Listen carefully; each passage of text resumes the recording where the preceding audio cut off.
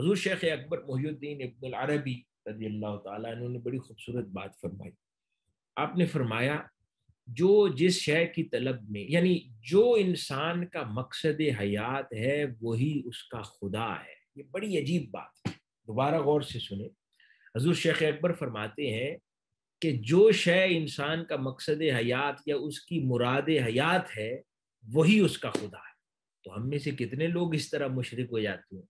कितने कम ही लोग होंगे कि जो उस खुदा को ही मकसद हयात बना लें तो बिल्कुल फिर ईमान सही जगह पे फिट हो जाता है कि जिसको हमारा खुदा होना चाहिए, वही हमारा मुराद और मकसद हयात हो तो फिर शिरक खत्म हो जाता है। लेकिन खुदा कोई और है और मकसद हयात कुछ और रहे हमेशा।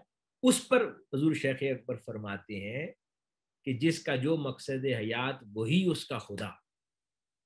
तो हम सारी ज़िंदगी नमाज़ किसी और की पढ़ते हैं, लेकिन हमारा खुदा कोई और होता है।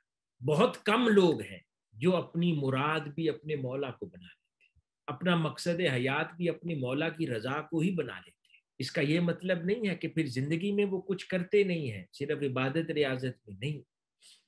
इसको हमेशा जेन में रखा करें कि आपकी ज़िंदगी प्रोफेशनल डेवलपमेंट रोज़गार, काम, कारोबार घर, बार, बीवी, बच्चे, औलाद, एक अच्छी हलाल ज़िंदगी गुजारना, ये कहीं रुकावट नहीं है अल्लाह की हजूरी और कुर्ब के हसूल की राह में।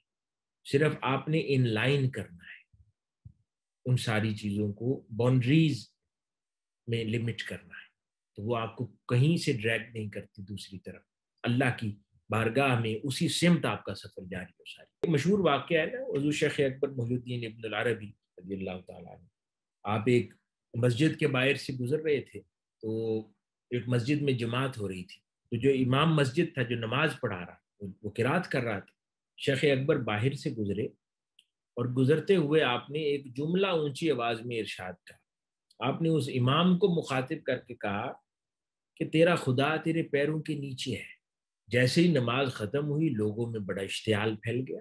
लोगों ने कहा कि ये कितनी बड़ी गुस्ताखी कर दी शेख अकबर ने कि यानी अलमाज अल्लाह ये, ये जुल्म किया कि कहा कि इमाम को कि खुदा जो है पैरों के नीचे है तेरा।